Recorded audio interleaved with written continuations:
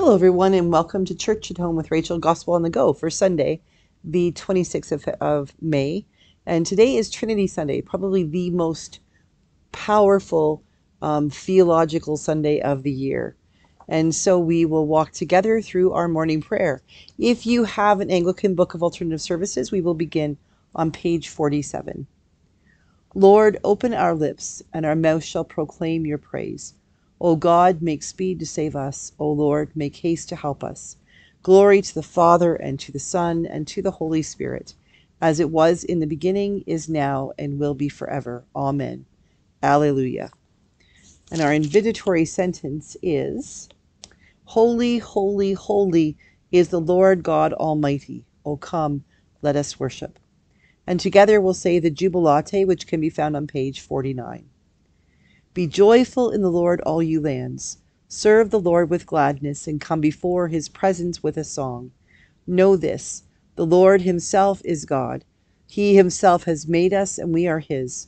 We are his people and the sheep of his pasture. Enter his gates with thanksgiving, go into his courts with praise. Give thanks to him and call upon his name. For the Lord is good, his mercy is everlasting, and his faithfulness endures from age to age. Holy, holy, holy is the Lord God Almighty. O come, let us worship. We're going to read two passages today. First of all, the first passage will be from Isaiah, chapter, um, the sixth chapter of Isaiah, verses 1 to 6.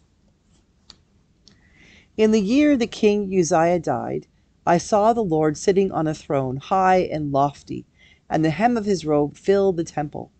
Seraphs were in attendance above him.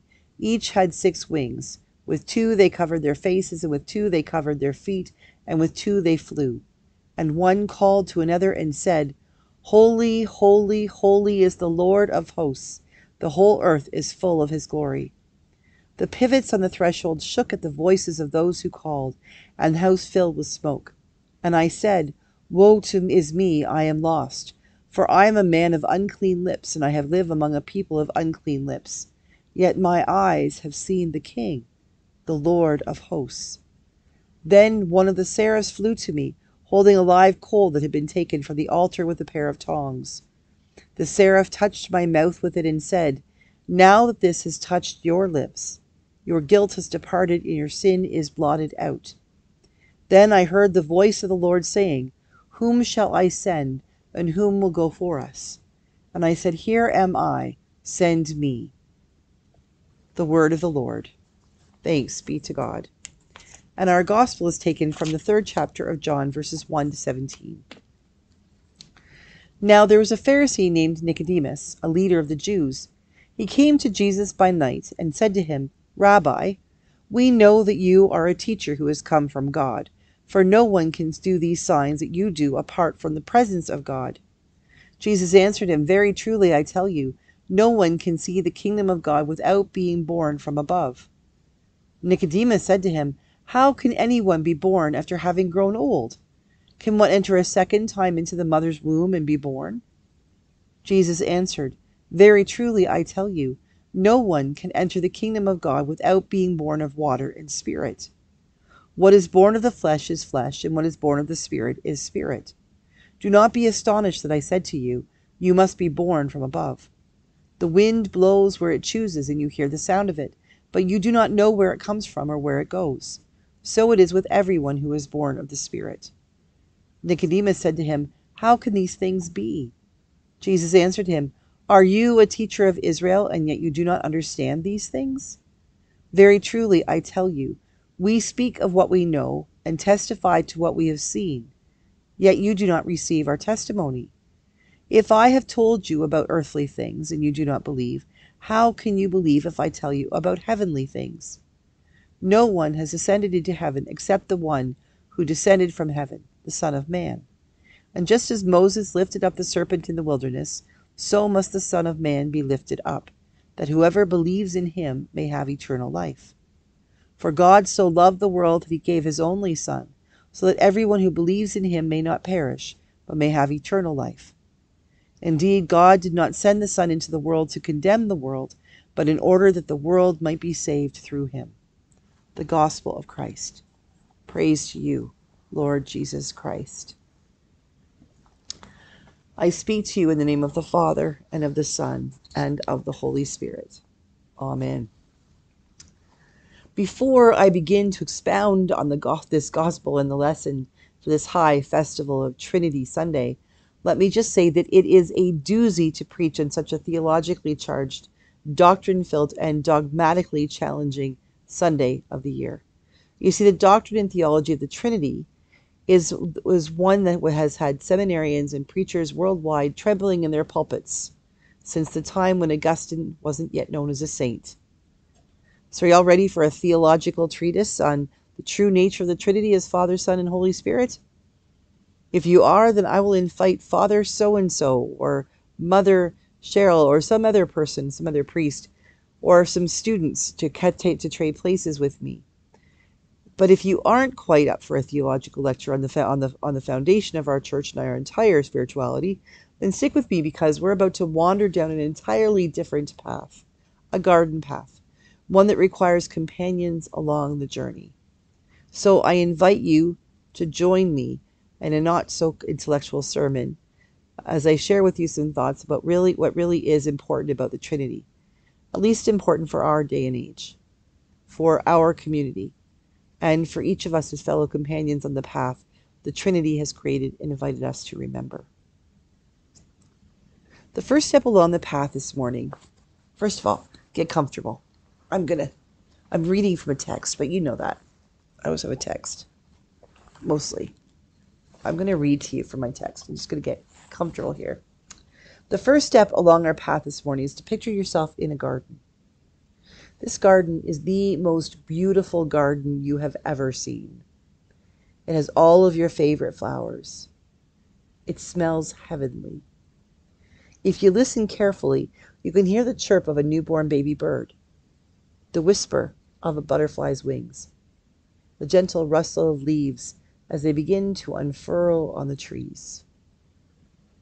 As you breathe in, you can smell that earthy scent that harkens to mind the newly turned soil as the flowers begin to sprout and the insects emerge to begin a new day. There's a bench right there in your favorite spot in the garden.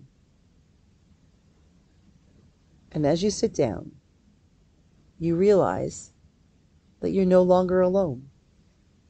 Your friend, the gardener, the creator, has joined you. He may just sit silently beside you. Maybe he speaks your name gently. But as you appreciate this glorious garden that seems to be made just for you, you know that the gardener has given you a gift, a twofold gift a gift of companionship and the gift of sharing this glorious garden with others. And while a part of you may be nervous about sharing your companionship or your special place, an even bigger part of you knows that you are ready to share your good fortune, those gifts that have given so much to your life.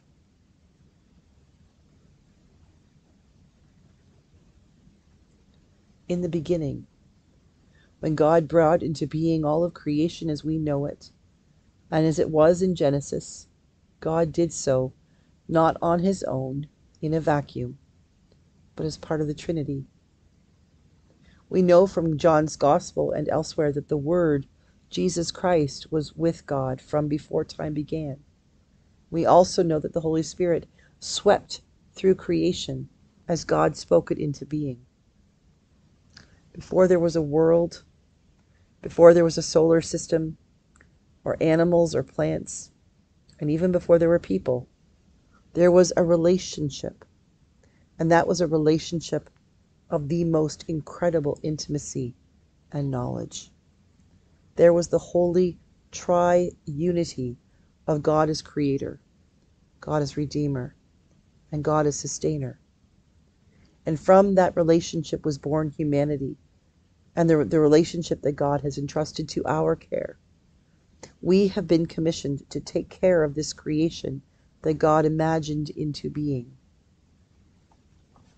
From the beginning, when God invited Adam and Eve, and then our ancestors, and now us, and our children and our children's children into a relationship with Him, God was sharing with us not because He had to, not because He must, but because His creation, His love was too beautiful, too encouraging, too inviting not to share with the world. Like that garden you envisioned a moment ago, God made the gift of life and love so enticing that we are compelled to share it with others. Even though we may sometimes feel protective of that gentle and glorious space, we know that we must share that beauty and space with others. And the only way to do that is to reach out in relationship with others and invite them in.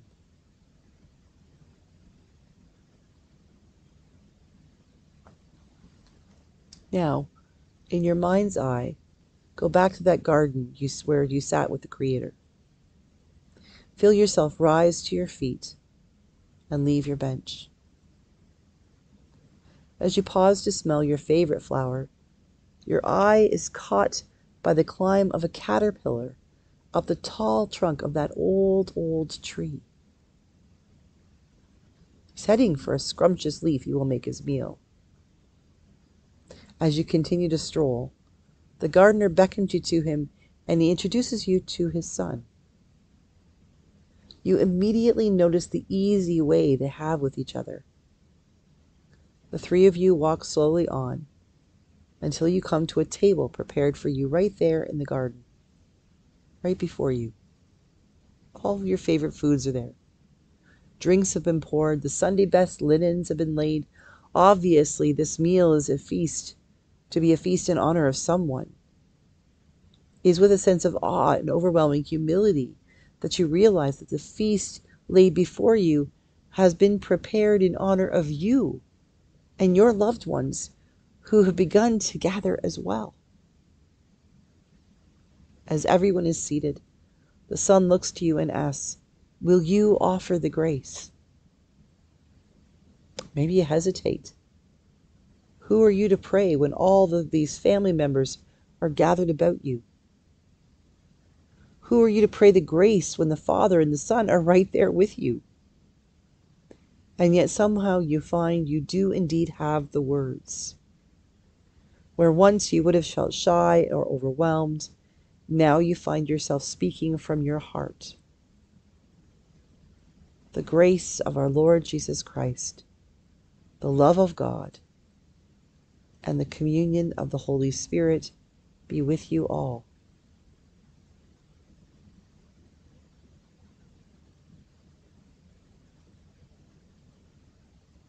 This prayer, this grace, penned by the Apostle Paul, was written to remind the Corinthians that they were not alone. It was written to remind them that the Trinity, God the Father, God the Son, and God the Holy Spirit, was always with them but it was also written to remind them that they were not alone because they also had each other, their brothers and sisters in Christ. Once the believers came out of that garden that exemplify their new belief in Christ and their new faith life as Christians, they were reminded of the importance of walking in relationship both with God and with each other, the members of their church. God gave them life and faith as individuals but he gave them relationships with one another to help them maintain that faith and strengthen their resolve to serve God through Jesus Christ. First came their garden, in which faith and relationship with God was created, and then came that community, which gathers around the Lord's table, where mutual encouragement and strengthening are shared by members of an intimate and relational faith community. Just as the Trinity shares an intimate relationship, so too does a group of people who share a faith commitment and who worship together, gathered around the table of the Lord.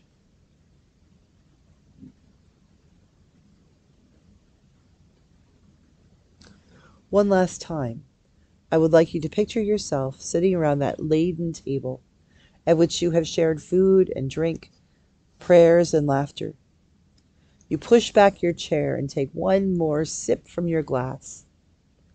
But as your, just as your family members are beginning to rise to the table, The gate at the entrance to the garden opens and a hand reaches through, beckoning all of you to come. Maybe you're hesitant. Maybe you're intrigued. You rise with everyone to see who it is that is calling you to come out. The gardener and his son lead the way. They seem obviously delighted and they embrace this newcomer to your gathering as if seeing a long lost friend. This person who has called you out is indescribable. There is something intangible about this newcomer, and yet a sense of peace and warmth watches over you. As you look through the gate into the world out there, you see what the newcomer has called you to see. There are people gathered all around. In a way that you cannot understand, you sense that they are lonely, hungry, and afraid. Some of them don't even seem to recognize their needs themselves. But somehow, in the presence of the newcomer who is now standing with the gardener and his son, you have a new sense of knowing you have a new way of feeling compassion, empathy, a desire to reach out to others. And all of a sudden, you just know. These people outside the gate are hungry and thirsty. They need nourishment and community. They need to be welcomed to your table, to your family. And then again, a new thought startles you. These people outside the gate have never been in the garden. They've never touched the petal of a brand new of a brand new flower. They haven't had a chance to smell the scent of a spring breeze. They've never had the privilege of sitting and sharing that perfect spot on the bench with the gardener.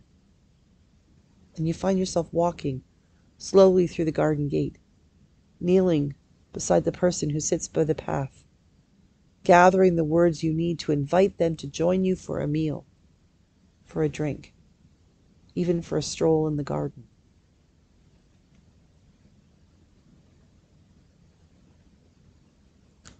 And Jesus came to them and said, When the Spirit of truth comes, he will guide you into all truth.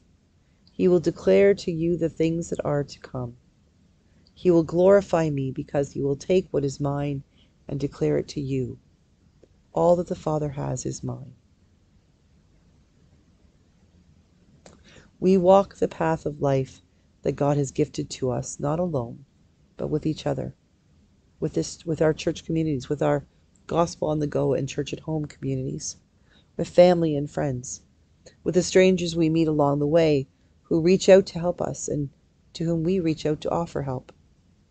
But we also walk always in relationship with the Trinity or the triunity of the Father and of the Son and of the Holy Spirit, who were in relationship with one another before creation even began. Jesus has called out to us, commissioned us to recognize and acknowledge the blessing that is the relationship which exists among the Trinity as God the Father, God the Son, and God the Holy Spirit. But He has also commissioned us to walk with the Trinity beyond our garden and out into the world, that we might invite others to participate with us in this most complex and yet oh so simple relationship of love between us and the Trinity. We can struggle to understand the complexities of the theology of that gift of the relationship of the Trinity, or we can simply relax and walk with the Trinity as God shares with us his creation, as Jesus the Son shares with us salvation and fulfillment at the table, and as the Holy Spirit, who leads us out into the world so that we might invite others into a new relationship with the Trinity and with us in the garden that God prepared long before time began.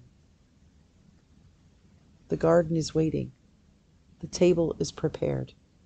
God's people are waiting beyond the gate, waiting for us to invite them to come and sit with us in the garden and at the table. The Trinity has issued us our call. Now it is our turn to respond. Will you bring others into the garden and invite them to meet the Trinity as we sit at the table together? Or maybe you still need time to sit in the garden with the Creator, time to wonder and appreciate and prepare. There is enough time. You are invited to just sit, to gather at the table, and to reach out to those beyond the gate. Whenever you are ready for your Holy Spirit, for your next step, the Trinity is ready to lead and guide you. Just as God the Father, the Son, and the Holy Spirit is ready to lead and guide the community of Church at Home and Gospel on the Go, people of the Diocese of Brandon, the communities from which we come, on our own next steps of faith, up from the table and out through the gate. Amen.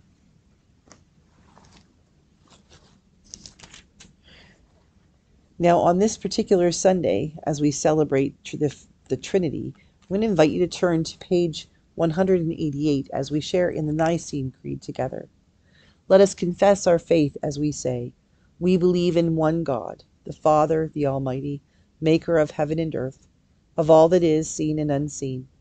We believe in one Lord Jesus Christ, the only Son of God, eternally begotten of the Father, God from God, light from light, true God from true God, begotten, not made, of one being with the Father through him all things were made. For us and for our salvation he came down from heaven. By the power of the Holy Spirit he became incarnate from the Virgin Mary and was made man. And for our sake he was crucified under Pontius Pilate. He suffered death and was buried.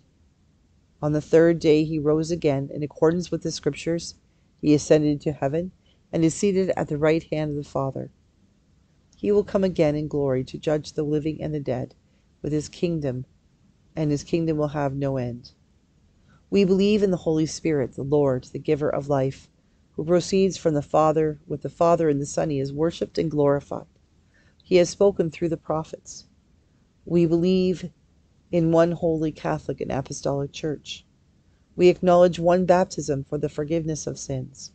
We look for the resurrection of the dead and the life of the world to come. Amen. Our prayers today are litany number, let's see here.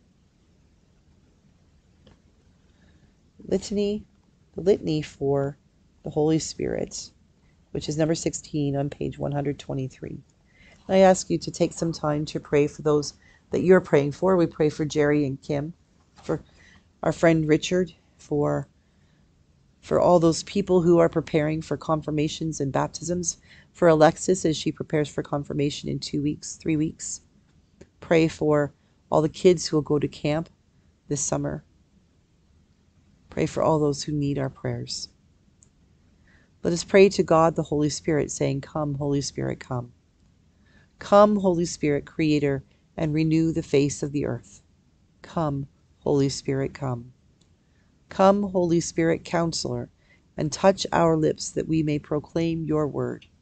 Come, Holy Spirit, come. Come, Holy Spirit, power from on high. Make us agents of peace and ministers of wholeness. Come, Holy Spirit, come.